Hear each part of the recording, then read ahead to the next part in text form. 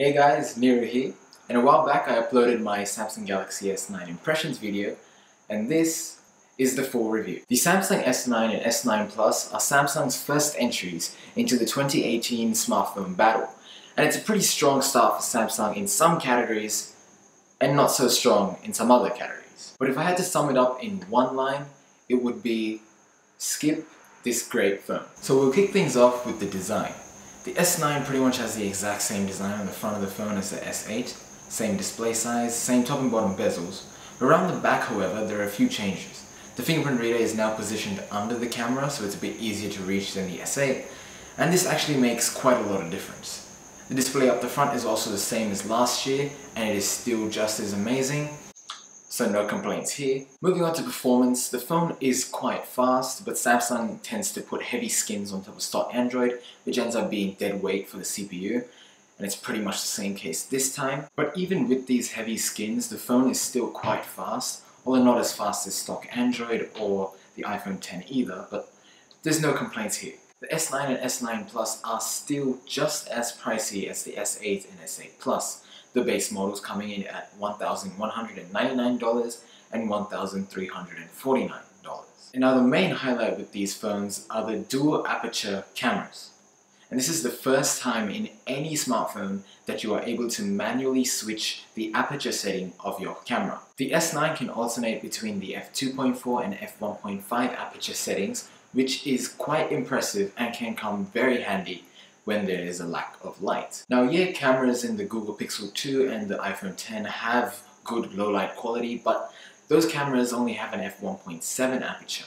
Samsung's S9 has 1.5, which is a lot bigger than the 1.7, which is letting in more light, which means better low light camera. But even with this fancy new camera, the S9 photos seem to always be just a little, just a little bit overexposed. And the S9 isn't really that much better at taking photos than the Google Pixel 2 or even the iPhone 10. But on top of that camera, the S9 can shoot 960 frames per second at 720p.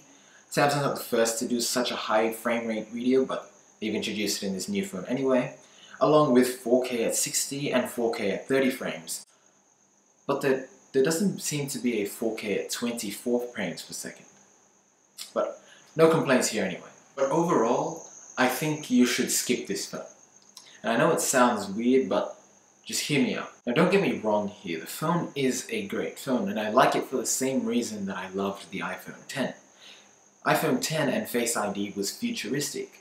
It was literally the future of where phones are heading right now in our pockets. And the S9 does the same with its dual aperture camera. It is the next step that smartphone cameras are going to take in the path to possibly replacing our DSLR cameras. But, and here's the but, Samsung's futuristic camera isn't really that impressive. Now the actual mechanism to make this dual aperture happen in such a small space is quite impressive, but the camera itself isn't. Now I need to be careful how I word this, but Samsung's dual aperture setting is only triggered automatically when the light level falls below 100 lux, which in itself is quite low. But if you want to manually control which setting is used, you have to head over to Pro mode where you can change the aperture but also other things like the ISO, shutter speed, exposure and so on. And now it's really to be questioned, how many people will, when taking a photo, head over to Pro mode and then tap the aperture setting to see if f1.5 is any better than the f2.4 and then take the photo.